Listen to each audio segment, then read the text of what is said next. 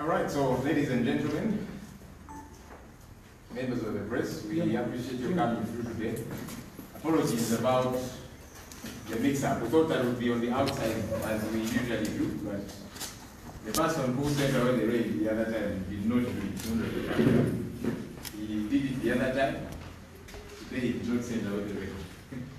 But, but we are glad that we could uh, use this place nonetheless. We'll try and be as quick as we possibly can. I request us to stand, do a quick prayer, and then we shall roll. So shall we guys lead us in prayer?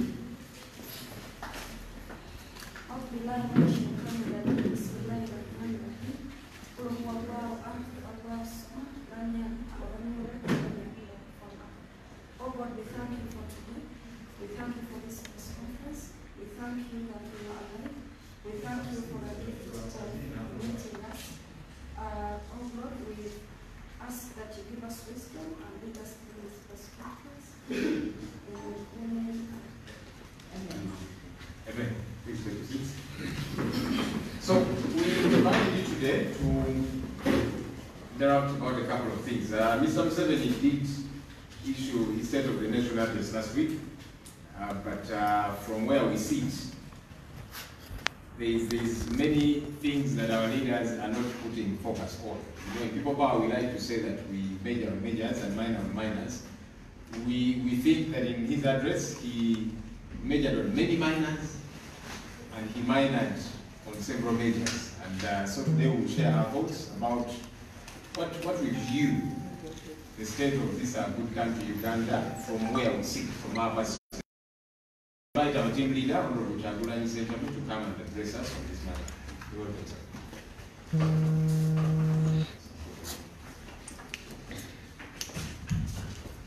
Thank you very much, uh, Comrade Joya.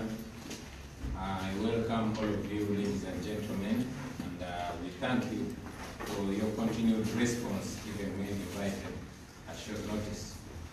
Ladies and gentlemen, before I make any further uh, comments, I want to, um, on behalf of the People Power Movement, add our voice on the many voices that have been raised all over the world. Few weeks ago, yet another black man was murdered by police. Uh, brother George Floyd was killed, which sparked off a wide, um, you know, wave of protests uh, against racial injustice that has for so many years in the United States and yes, all over the world. We join uh, the brothers and sisters from different races demanding for justice for black people and equality. I must also mention that it's rather embarrassing that uh, protests are going on in all cities of the world, but here in Uganda, we cannot raise our voices, we cannot publicly stand in solidarity with our black brothers and sisters in America because it is not only illegal, but it is dangerous in Uganda to protest for a right. President Museveni, who has for a very long time purported to be a pan-Africanist, is silent in this, in the face of this injustice. Just like, just like he was not only silent, but also blocked all our efforts to return our brothers and sisters that were being oppressed in China on account of their skin color. The same is happening. Uganda is giving the world a deafening silence about the injustices that are going on against black people in America. So um, I want, together with the team, to take a knee as a gesture of standing in solidarity with our brothers and sisters in the United States of America. And we join them and also Black Lives Matter. Black, Lives Matter. Thank you very much.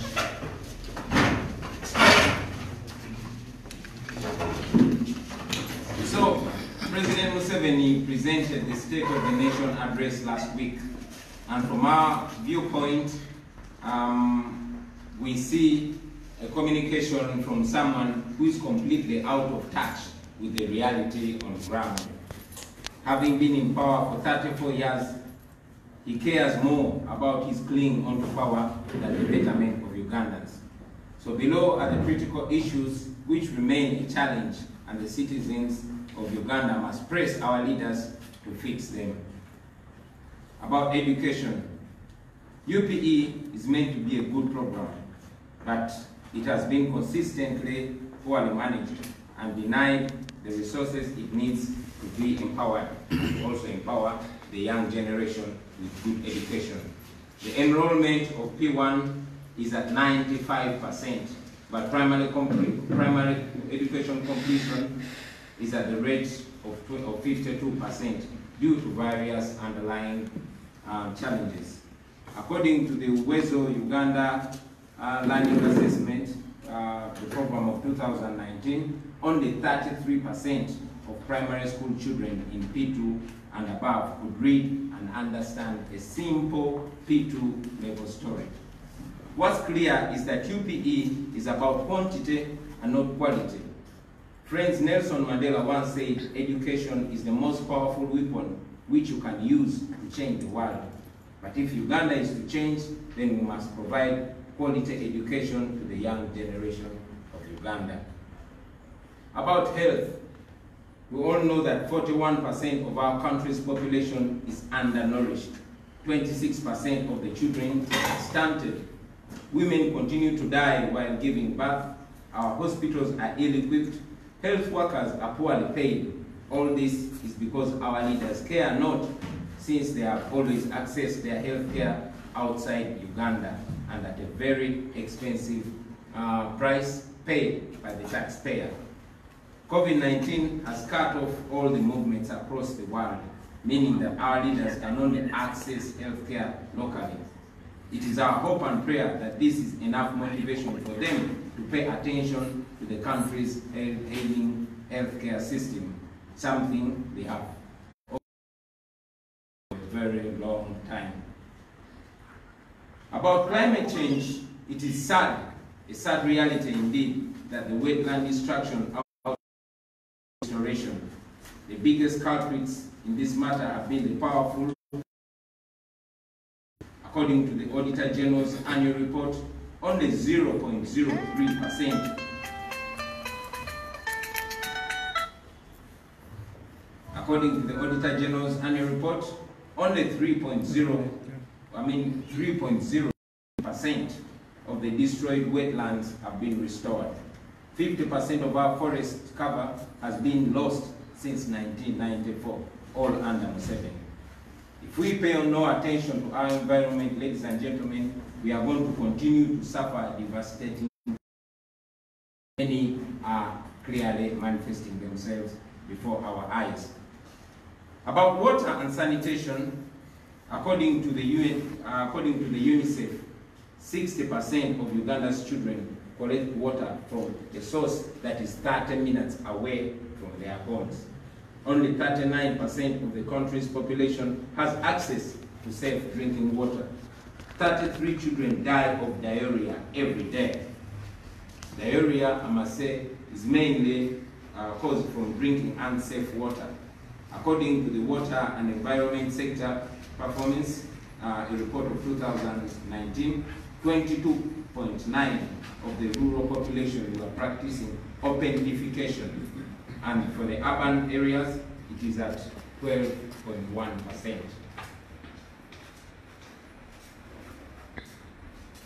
About human rights, our country's human rights record is so disturbing. Like you all know, violations have continued to happen in a manner so wanton.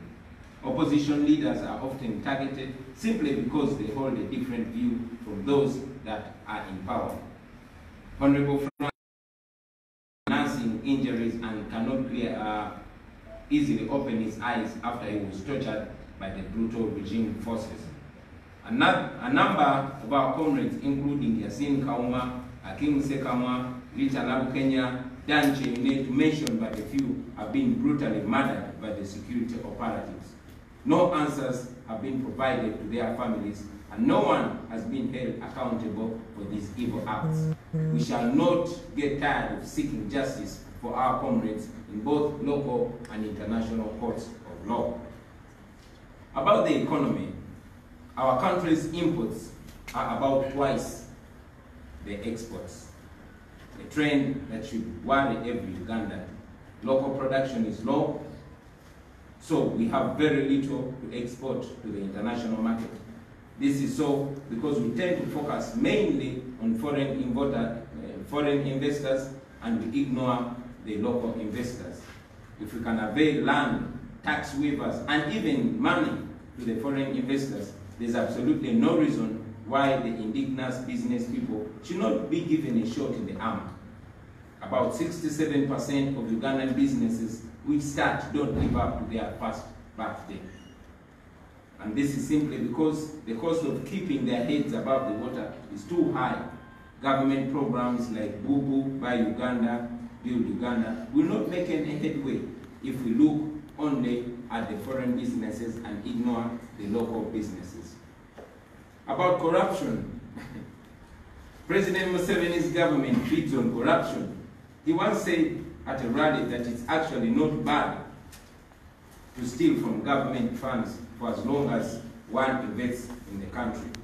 Well, with such an attitude from the president or the so-called fountain of honor, it is no, it is no wonder that continues to choke our country, with no ramifications the, uh, to the perpetrators of that corruption. It will only take a people-centered government like the one we want to bring about to solve this challenge.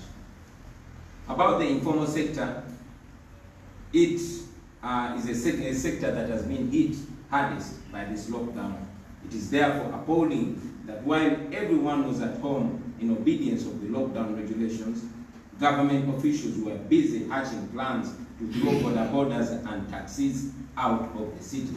I repeat, it is saddening that while people, especially the common people, were busy obeying the regulations of the lockdown, government, government officials were, uh, were hatching a plan to keep taxi and boda boda operators out of the city.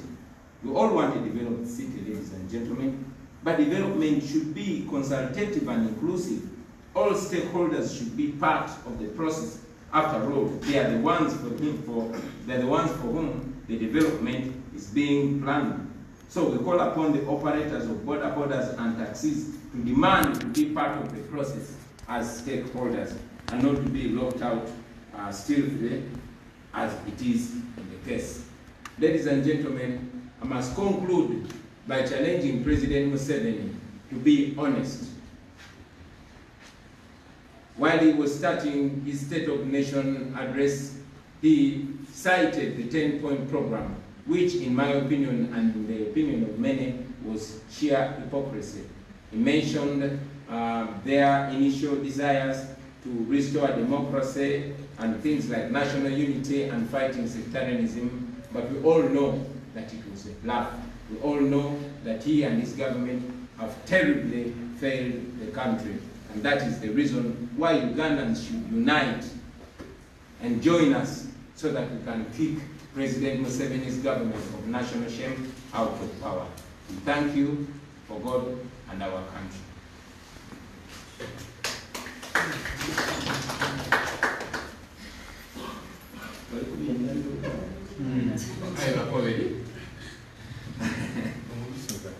Mwebale nnyo mwebalire ddala baganda baffe twagala obebaza nate olw'okujumbiranga okutwegatanga